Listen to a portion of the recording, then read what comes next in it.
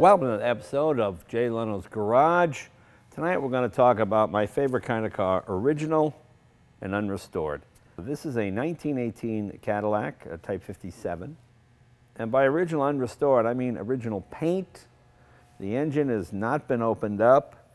Original interior. Everything on this car is just as it was in 1918. One or two minor things, and I'll show you those in a minute this car looks this way because it's never been out of Southern California. It's always been a Southern California car. And it's always been a protected car. The gentleman I got it from, John Woodward, he was a wonderful uh, custodian for this car. He had it for years and years. And even back in the 50s, this car was uh, something special. People just knew to take care of it. It always been garaged, and it shows you a car can last almost 100 years with uh, pretty minimal care too, as long as you don't abuse it. Uh, it is amazing. This is the original paint, the original wood wheels. What we put on these wood wheels is something called linseed oil. You put it on with a brush and uh, it feels a little sticky because uh, I did it last week. Uh, and it makes the wood expand and it tightens up the wheel. You know, in the old days, uh, they, used to, they used to tell you to park your car in a low creek so the water would get into the wood spokes and swell them up so they wouldn't clank when you drive. Or you can just put linseed oil on them. Now, one thing you want to be careful of, if you do have a car with wooden wheels and you put linseed oil on, take the rags, throw them outside, because linseed oil is very combustible. If you take a linseed oil rag and you throw it in the trash, it could combust like that. So that's uh, a fairly common thing. But let's move on. Uh, the only thing that's different in this car somewhere along the line, somebody chose to get artistic and put this green uh, element in the headlights. But other than that, everything is exactly as it should be. Uh, this is a Victoria model. I think this is one of the prettiest cars. The interesting thing is these posts come out. You see the screws up in here? You unscrew those and you can make it a full open car. But I like it just the way it is. And this has something called the Fat Man wheel. That's what they called it, the fat man wheel. It was for men of girth, successful men, men of business. Yes, yes, if you had a big gut, well, that meant you were successful in 1918. And what you do is you'd pinch these two right here, and then you see the wheel would fall away like that. You get in, you sit down, and you pull the wheel up, and there you are. I'm somewhat a man of girth, but to be really successful, you need that, that big gut, apparently. But uh, this is the kind of car you drive around and collect the rent in, you know.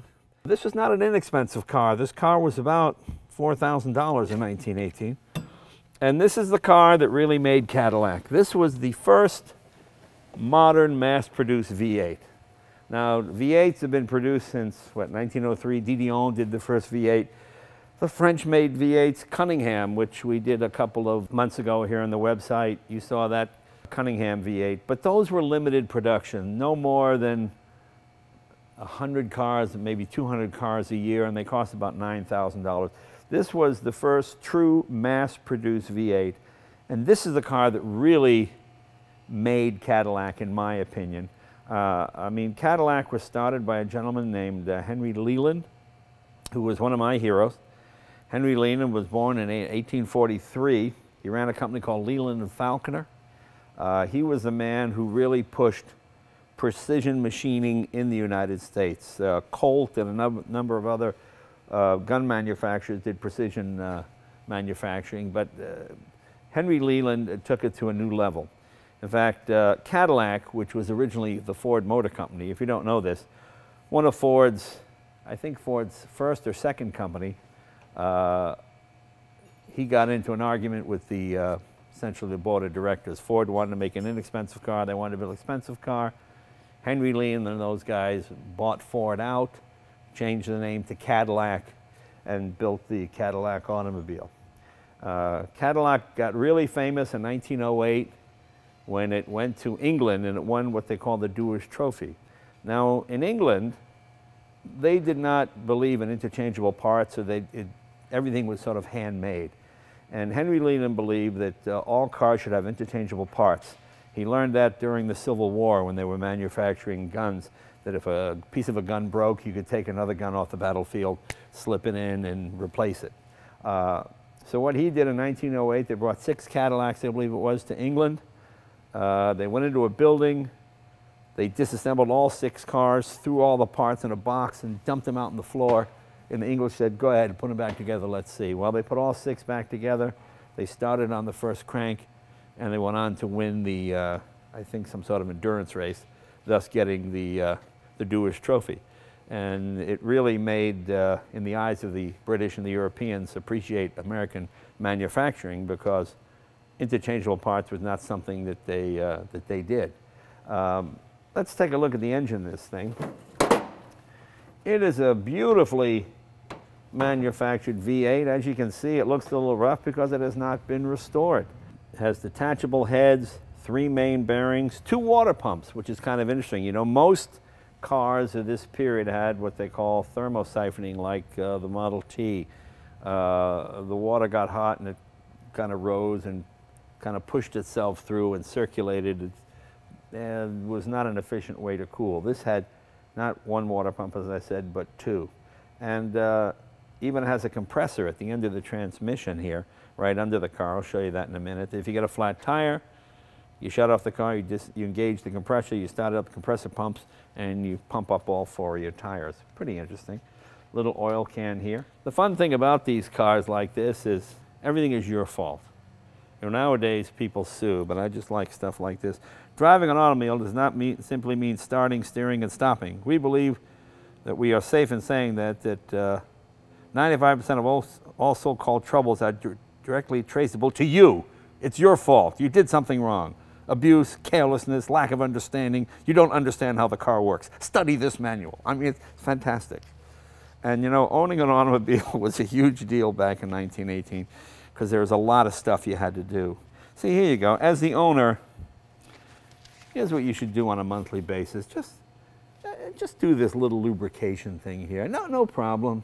You see that? Just hit all those points once a month. You'll be fine. Look at this, every 125 miles. Here's stuff you have to do every 125 miles. You, you had to be a real enthusiast to own a car in those days. You know what else is pretty neat? compartment behind the seat. And I found this. Eat and drink comfortably in your car. Look at that, fantastic. Look, it, it assembles in five seconds. Five seconds, look at that. So you sit down, you have a sandwich, you got hot coffee, you got the whole deal right there. A new convenience for picnics and outings. Eat and drink comfortably in your car. Fantastic. This is a car that's, I don't think has ever been abused and everything meshes nicely. Everything, all the gears slide together nicely. I mean, I change the lubricants pretty often. And I flush the system. It did sit for a little while, but here's something kind of cool. You want to see how you, uh, how you dim the headlights? See this linkage here? This linkage connects up to you right by your steering wheel. So you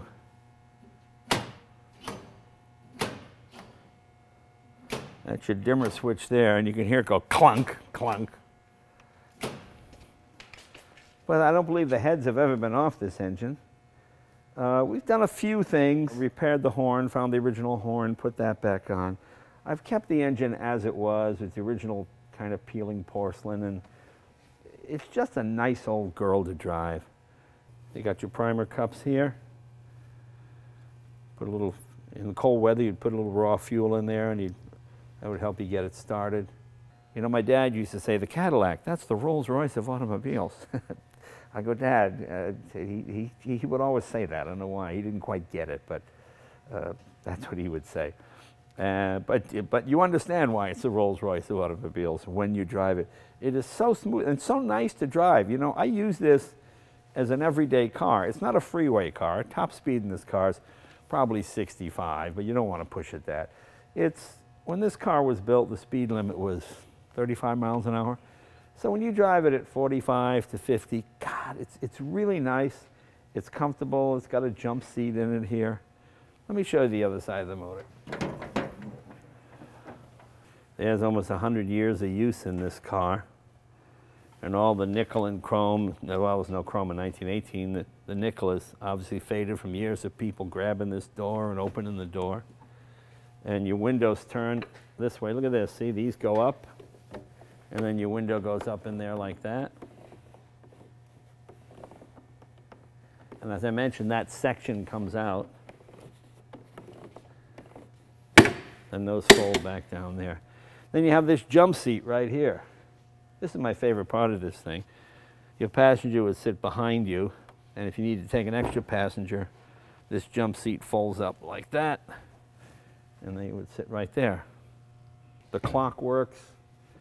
Well, the clock didn't work when we first got it, we, but you know, again, beautiful mechanical clock. When you buy a modern car nowadays, it might say a famous clockmaker's name on the face, but it's usually just some cheap electric clock that runs off the battery.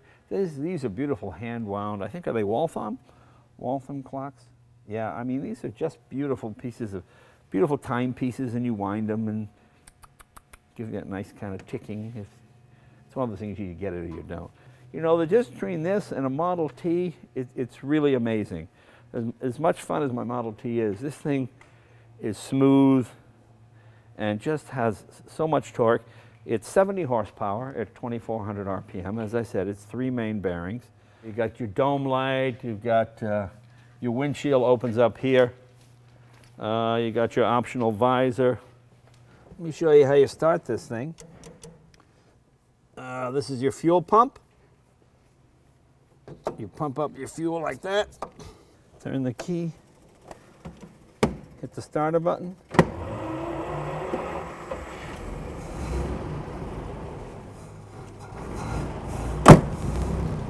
And we are ready to go motoring.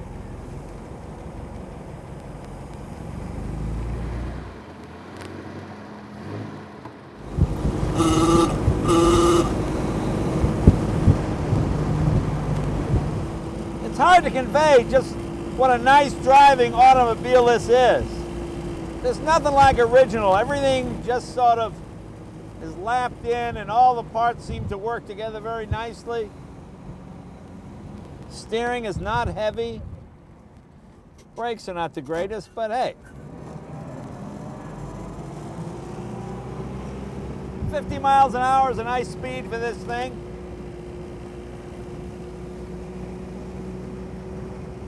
The nice thing is with this high roof, if you see Lincoln hitchhiking, he can keep his hat on if you give him a ride.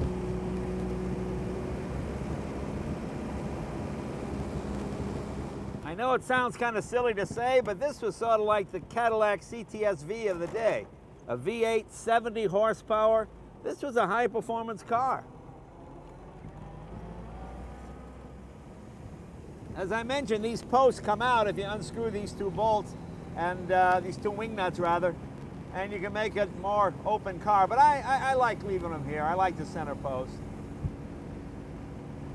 The thing that amazes you about this car is how smooth it is, how nice it is to drive.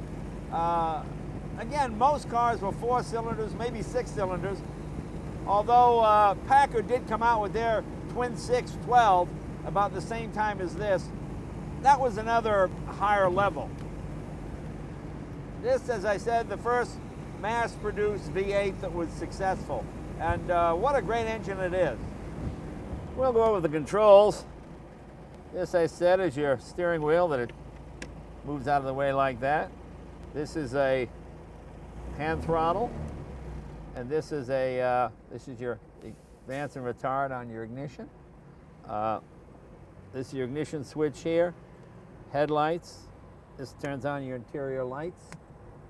Uh, you've got your uh, fuel tank pressure, oil pressure, oil pressure rather, ammeter, that's your speedometer there, and your clock. This is your hand pump to, you pump up your fuel once. Once that's pumped up, there's a little mechanical pump that'll keep it pumped. You got a jump seat right here. This folds forward just like that to take another person and see, kind of goes up like that. And then you got your uh, gas pedal down there and your starter pedal right over there. Now way out in front of me, you can see your motometer, so you can see how hot or cool the engine is running. That's your temperature gauge, essentially. Shifts very nicely.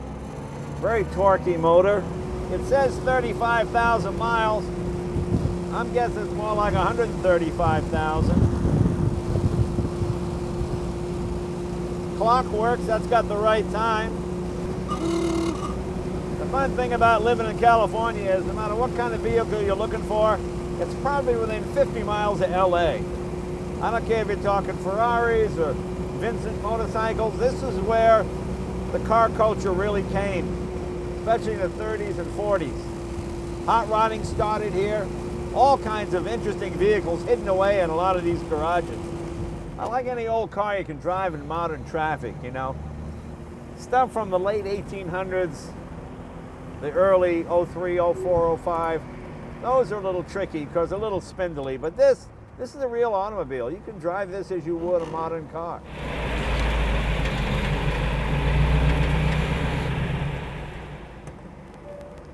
Know, there are cars like the McLaren F1 and those kind of cars where you just go out and tear around and have fun. Then there are cars that are just pleasurable to drive. And I, it's hard for me to relate how pleasurable this car is to drive. Everything is just moves so nicely. You just feel the mechanicalness of it. It's really a pleasure. Original unrestored. That's really the way to go. Well, I hope you enjoyed this trip down memory lane, and uh, we'll see you guys next week. Bye-bye.